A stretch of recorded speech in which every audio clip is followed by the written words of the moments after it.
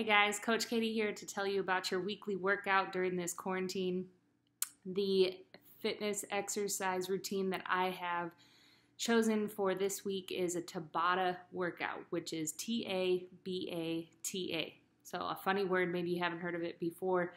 Um, basically, what this is, is you get to choose um, how much time you are going to do your workout, um, but you will be doing 20 seconds of the exercise and then 10 minutes or 10 seconds rest and then do another 20 seconds and 10 seconds rest and then you move on to the next exercise. So you can choose as many exercises as you want as well as how long you do it as long as you are doing that 20 seconds on and 10 seconds off. So for example i'm actually going to be doing a workout with a chair today so I'm going to be doing four different exercises. That's how many I chose. Okay, I'm going to do it for eight minutes. So not very long because it's a high intensity workout where I'm constantly um, exercising with only that 10 seconds rest in between. Okay, so my first one that I'm going to do, like I said, for that first minute, I'm going to be doing 20 seconds on, 10 seconds rest, then do another 20 seconds, 10 seconds rest, then move on to the second exercise. Do that for a minute, move on to the third, do that for a minute, move on to the fourth, do that for a minute, and then now I'm starting to repeat for another four minutes, which will complete that eight minutes altogether. Okay, so for my chair exercises that I've chosen today, I am going to be doing uh, chair step ups. I'm going to be doing an inclined push up as well as uh, chair dips, tricep dips, and then I'm going to do some inclined mountain climbers. So I've got some cardio as well as some strength training. Um, I know a lot of you do not have equipment at home, so here is a way that you can use something to work on that strength training, um, but also getting a little different than just using that body weight. Okay, so I'll show you each exercise and break them down as we go here. So the first one that I've chosen is that incline push-up. Okay, so I'm gonna go to my chair, put my hands on the side of the chair or at the front of the chair with my thumbs underneath.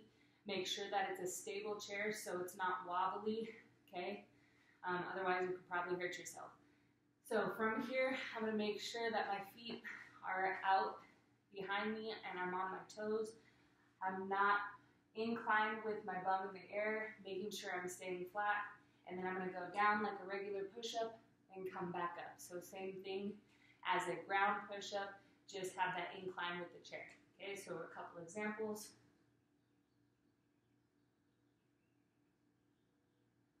And that is your incline push-up.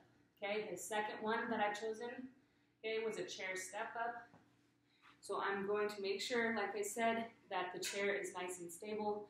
So I'm going to be able to step up and step down. I'm going to go up on the chair, one foot at a time, back down. Okay, one at a time. Okay, for that first 20 seconds, I will do one foot to start. The second 20 seconds, I'll start with the other side. Okay, for example,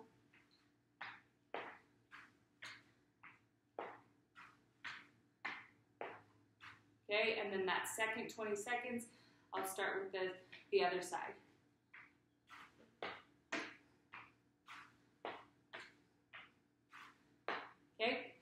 So now for my third exercise, I'm going to do a mountain climber and incline mountain climber. So I'm going to do the same thing with my hands as I did with the incline push-up. I'm going to have it at the front here, or I can do it at the sides. And I'm going to have my back flat, my feet behind me. And I'm going to bring my knees to my chest one at a time, but also not doing it very slow, trying to keep that intensity up. For example,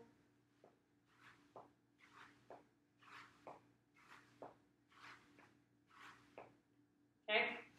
And then for my last exercise, I'm going to do dips. So hitting the triceps on each side, I'm going to turn around, put my hands on the sides of the chair, and I'm going to make an L shape with my, my legs. Make sure I'm not too far down and I'm not too far up. I'm in that nice square position. Okay, my feet are about a foot apart. Then I'm going to go down. So I'm just a couple inches off the ground, back up. For example, okay, to make it harder on yourself, you can put your feet further out, okay? So then you're using mainly your arms. Okay, so that was a challenge booster. Um, and you can do that with any of them. If you have a strong enough chair, instead of doing those step ups, you actually probably do a chair jump. Um, mine is probably not sturdy enough, so I'm not going to show that. Okay, so like I said, you'll start with the first exercise, do that for 20 seconds, rest for 10. Continue with that first exercise, another 20 seconds, rest for 10, move on to the next exercise. You don't have to pick eight minutes. You can pick any amount if you want to do that longer. But because it's high intensity, that, that eight minutes actually feels like a lot. So you can choose wherever you're at, whether you want to start with a small amount or go ahead and increase it to 10 minutes, 15 minutes, up to 20 minutes. Um, so that is the explanation of a Tabata workout.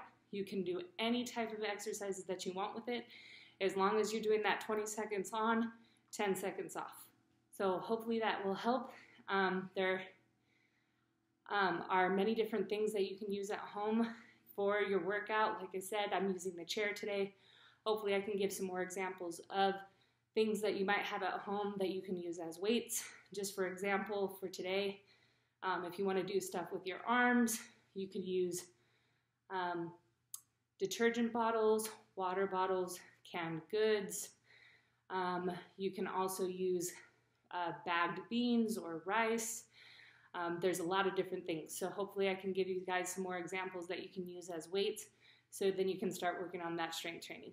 All right, good luck. Tell me how it goes.